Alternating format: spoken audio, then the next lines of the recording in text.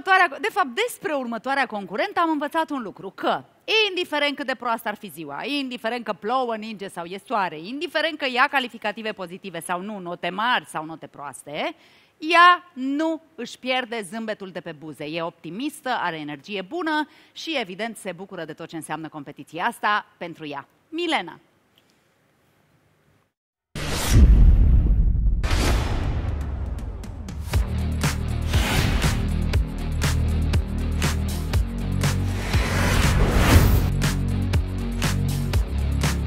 Ai emoții?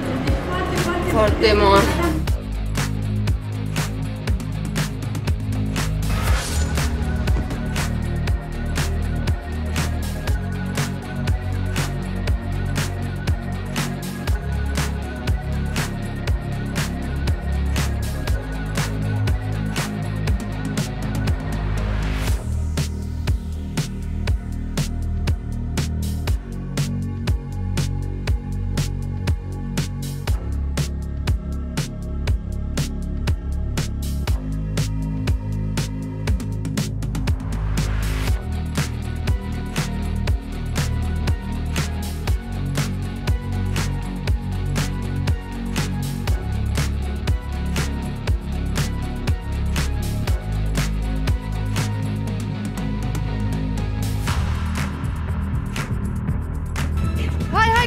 Cu coregrafia, că tu ești bună pe coregrafie, eu. Milena, păi ce facem? Am eu o coregrafie. Ai Cum tu a alta? intrat- Da, da, da.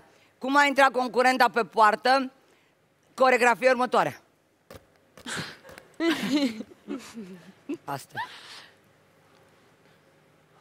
Aoleo. Bună seara, Milena, bine ai Bună venit! seara, bine v-am regăsit. Eu zic să nu ne scadă zincul fix din prima, ne facem că n-am văzut opera Luca, nu știm ce a vrut să Aoleu. zică, ne concentrăm, deocamdată, ne concentrăm pe ce avem noi de făcut aici. Ce faci, draga mea, ești bine? Foarte bine. Au apărut și paietele, disco, Da. totul în regulă, energia bună. Nu prea. Uite ce mi-ai făcut cu ea. Ce-a făcut? Uitați, Ce-a vă rog făcut? frumos. Ce-a făcut? Doar că m-am dat cu capul de masă asta? Păi uite-o. Mi-ați supărat-o mai mult și așa e puțin supărată, Milena. De ce?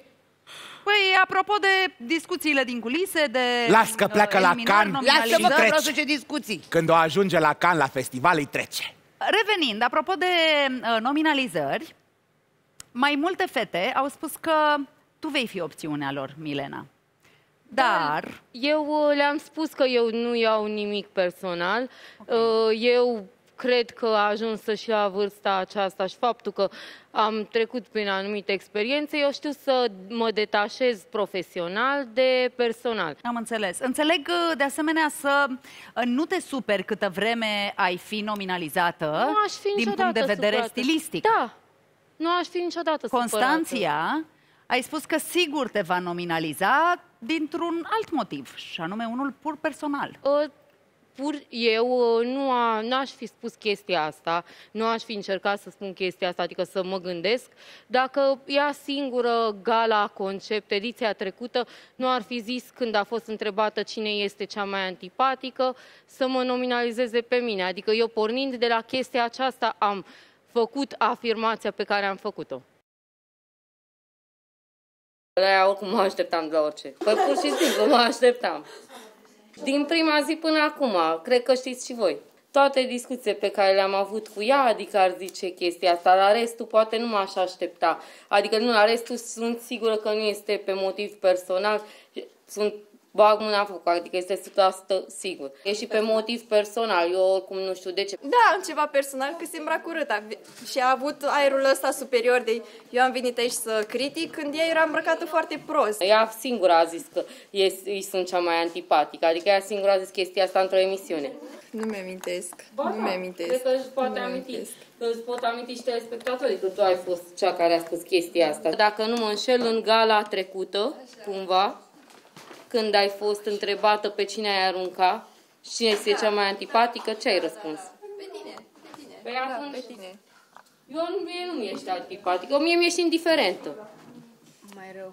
atunci când faci o afirmație, ea mi-e cea mai antipatică, când te referi la un sentiment precum antipatia, înseamnă că vizezi și altceva mai mult decât partea de styling. Poate nu ai vrut să spui, adică ar fi trebuit la momentul respectiv să alegi mai nuanțat cuvântul prin, pe care mi l-ai adresat. Atât.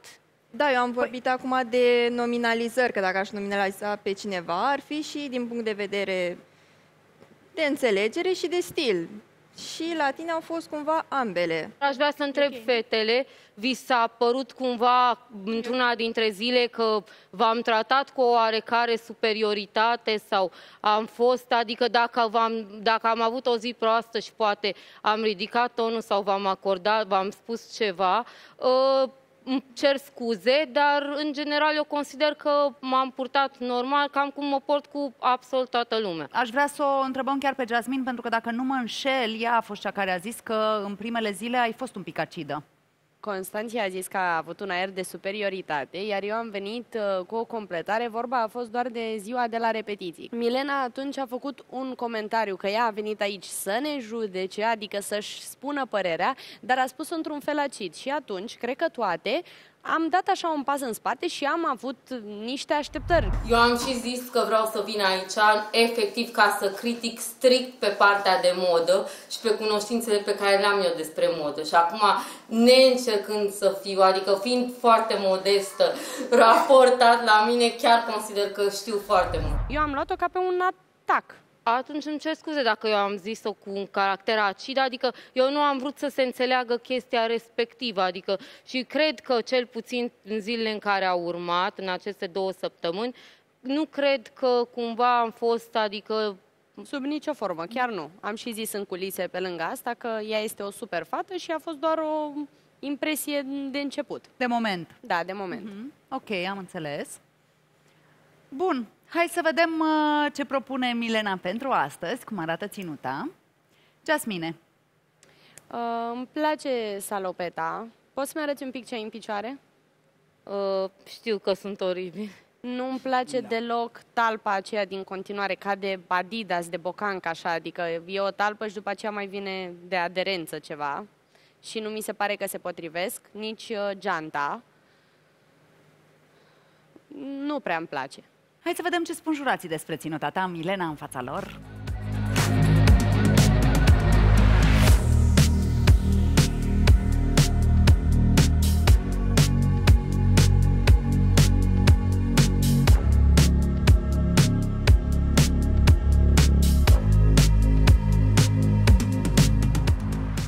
Măi, Milena, puiule, uite, îți desenez aici inimioare pentru tine, ce fac ce vrei tu. De ce? Îți bați tu joc de tine. În primul rând, ce cauți cu, cu saboții aceia de anii 70? Arată-i la cameră, Măsa lui Bohoșic, lui Festival, lui ce Ce cauți cu saboții tu în picioare? În seara asta noi având temă disco. Mă, cum ai putut la Milena să alegi doar trei piese? Mi-am luat și niște faci... accesorii. Ai, scuză-mă, și niște cercei. Și inele la Ah, alea nu, inele sau sunt niște... Alea niște lițe. Seamănă cu alea pe care le găsești cadou în pungile cu pufuleți. Da, Știi? da, e nenorocire. Deci cum ai putut să nu faci niciun styling, dar piesele pe care le-ai luat să fie urâte, atât de urâte fiecare în parte, mă, mamă, sunt urâte rău. Ai să râzi? Ce? Ce vrei să spui? Mie place! Du-te. Jur! Să mor că vrei să poți Pe să... cuvânt dacă n-aș purta-o! Ținuta purtată de concurenta Milena... Așa. Mă rog, puteai să faci ceva la păr, n-ai făcut în sfârșit. Mi se pare net superioară celor purtate de Luiza și Carina. Ia veniți în față, dragă, puțin, vă rog frumos, scene pe care... Păi dacă Ridic... Sau mai ridicați-vă măcar. Net superioară. Ridicați-vă. Dacă e să-mi dau pantalonii jos și așa... Nu să mă pantalonii jos. Și concurenta a mai și surprins printr-un detaliu complet neașteptat și a pus saboții. saboții. Și asta ți-a plăcut.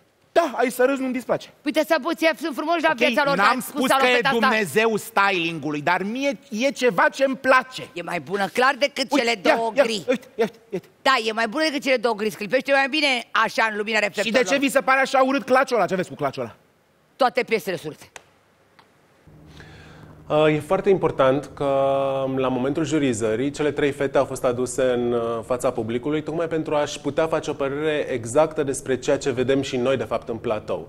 Uh, ochiul nostru e unul foarte avizat să vadă tipul ăsta de mici diferențe, mici accente plasate coerent. Însă pentru publicul care ne privește, lucrurile astea poate nu sunt atât de evidente și e super important din punctul meu de vedere că s-a putut pune accentul pe cât de diferite erau trei lucruri care în esență reprezentau același lucru. Bun. Verde cu verde cu verde și cu verde. Când mergi pe un look monocromatic, pentru că ceea ce propui tu, presupunând că saboții nu se văd pentru că acel pantalon nevazat trece peste botul lor și te rog, fă asta în momentul ăsta ca să-mi dai mie un confort vizual, ă, pantalonul peste vârful saboților. Acoperă, acoperă, acoperă. Mulțumesc. Ca să am eu un confort, știi? Să mă, să mă pot focusa, să fie de bine. Uh, bun, verde cu verde cu verde uh, funcționează doar dacă controlezi bine nuanțele de verde. Mie îmi place salopeta. Și mie. Îți spun sincer că mi-a fost și frică să-mi spun părerea legată de salopeta respectivă, pentru că nu știam sincer cum o să reacționeze Raluca lângă mine, văzând reacția pe care a avut-o față de Moris. Uh, mie mi-a plăcut foarte mult ce a făcut Milena și m-a surprins. M-a surprins plăcut. Uh, mi-ar fi plăcut să nu fie one note totul, așa cum s-a întâmplat din cauza gamei cromatice pe care a abordat-o, dar overall uh, Milena joacă o carte foarte interesantă în competiția asta. Acest disco nu înseamnă doar un 70, poate să însemne și un 80 și... El poate însemna foarte multe lucruri, disco. Plus că pe mine mă interesează foarte tare adaptarea, interpretarea temei. Și avea ceva, mie mi-a trezit o emoție, o nostalgie. Ținuta Milene a fost mult mai bună decât ținuta Carinei, Luizei, Jasminei. Nu-mi place zona părului deloc. N-ai nimic din filmul în care ar trebui să fii. Îmi trebuia o fluturare de la păr, îmi trebuia ca ca aceste detalii ale tale de beauty să devină accesoriul pe care noi îl căutăm și îl tot cerem aici ca fiind nevoie de accesorizare cumva. Dar overall, nu mi se pare că ai făcut o treabă rea. Nici mie. Nu cred. Aoleu! Vă mulțumesc mult! Mie nu place, mă. Dar te iubesc, uh, Milena. Vă mulțumesc! Are un punct în plus. Da. Să moară Franța. Jur, pentru faza cu saboții. Mie salopeta îmi place. Claciu îmi place. Am înțeles. Patru. Patru. Patru! Mult! Da. Patru! Patru! Patru, patru! Ca să nu-i dau cinci acum! patru! Bun, mulțumesc felicitări, mult de tot. Milena. Da, fetelor, ce e acolo în spate? Nimic. Fericite sau nu prea? Am zis imprevizibil. Nu, nu este imprevizibil, acum să nu se înțeleagă greșit. Niciodată în istorie uh, compar cele trei salopete, nici în istoria modei, în istoria magazinelor, în istoria a ce vreți voi. Asta este o salopetă, alea două nu sunt. Punct. Asta nu e salopetă. Am pe Ce? ce? salopeta. Mă rog, Nu dau ce mai tare e jos pantalonii. ținuta? Măi, nene, hai, eu propun ceva, vă rog, în emisiunea asta. Lăsați-o să dea jos Este a pantalonii. șaptea oară când Luiza ne roagă să dea jos pantalonii. Dă-i jos, dă-i jos pantalonii. Pentru că de 10 minute, dăm de 10 pauză. ore a zis că îi dă jos. Cum îi dau? Vă rog, eu lăsați-o să, dea- să se dezbrace pe fata asta, că vrea și Uite, ia, dă-i jos. Poate e mai rău. Insist, dă-i jos. Să vedem. Și ce ai pe dedesubt? Stai. A, e chiar Hai cu salopetă muzică. bine. Ai Poate două avea perechi de un uh, pantaloni. reveal pregătit pentru noi. Da. Oh, eu credeam că are chiloți. O, ne, de asta mai pot să mă dezbrac. Nu. Îmi dau și rolele jos. Să nu. Hai că a fost bine. A fost foarte bine, A fost sunt foarte, foarte, da, fericită și vă rog, dragii mei de acasă, dacă și voi vreți să vă bucur cu energia mea și cu tot ce am să vă ofer, votați indicativul 5 a 1220. Mua! Mulțumesc, Milena. Evoluția Milenei chiar există și dacă sunt să ne raportăm la felul în care ea a intrat în emisiune și felul în care acu- ea s-a prezentat astăzi la această gală, nu mai este aceeași persoană Milena fizic și ca nivel de styling. Se vede clar că ea absorbe tot ceea ce juriul îi transmite și cumva încearcă să schimbe. Trebuie să mai treacă timp ca să vedem o evoluție cumva. Trebuie să treacă bă, trei zile cel puțin, trei ediții. Știi? Că prima oară, a doua oară, a treia oară poți să fie noroc. A venit într-o salopeta uh, și cu niște saboți. Nu. Aia nu era țintă, adică nu era bine compusă. Până la urmă, nu. Ce scos cu saboții?